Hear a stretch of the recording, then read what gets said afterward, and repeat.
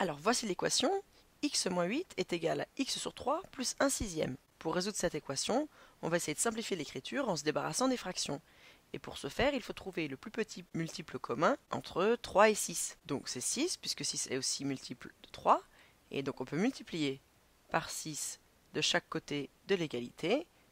Vu que je multiplie à droite, je dois aussi multiplier à gauche par 6. Et je peux procéder à la distribution. Alors 6 fois x, ça fait 6x. 6 fois moins 8, ça fait moins 48, est égal à 6 fois x sur 3, donc 6 divisé par 3, ça fait 2, il reste donc 2x, plus 6 fois 1 divisé par 6, ça fait juste 1. On regroupe les x à gauche en déduisant 2x de chaque côté. Je retire 2x à gauche et à droite, et j'obtiens 4x moins 48 est égal à 1. Maintenant, je peux ajouter 48 de chaque côté. J'ajoute 48 à gauche et à droite, et j'obtiens 4x ici ça s'annule, est égal à 49.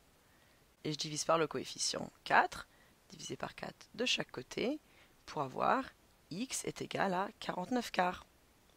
Et voilà, c'est la solution de l'équation. Si on veut la vérifier, il faut remplacer dans l'équation de départ 49 quarts moins 8 doit être égal à 49 quarts sur 3 plus 1 sixième. Alors je peux essayer de simplifier cette écriture avec la même technique que j'avais utilisée au début, en multipliant par 6, tout simplement pour essayer de supprimer une partie des fractions ici. Je multiplie par 6, et j'obtiens ici 6 fois 49 divisé par 4. 6 et 4 ont comme multiple commun 2, donc si je divise par 2, ça me fait 3 fois 49 sur 2, moins 6 fois 8, 48 toujours doit être égal à, et donc cette fois-ci, elle a 6 fois 49 sur 4 divisé par 3. Donc 6 fois quelque chose divisé par 3, 6 divisé par 3 ça fait 2, donc c'est comme 2 fois 49 sur 4. Donc on a 2 fois 49 sur 4, plus 6 fois 1 sixième, ça fait 1.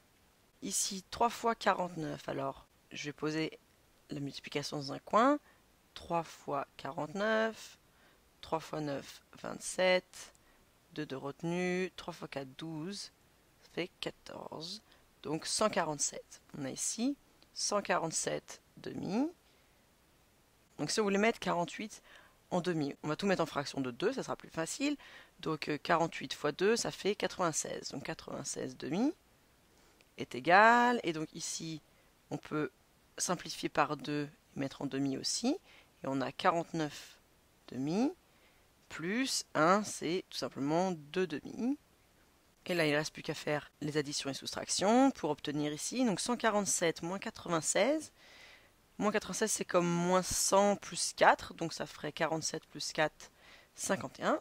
Donc 51 demi est égal à 49 plus 2, mais ça fait aussi 51 demi. Donc on a bien vérifié, 49 quarts satisfait l'équation.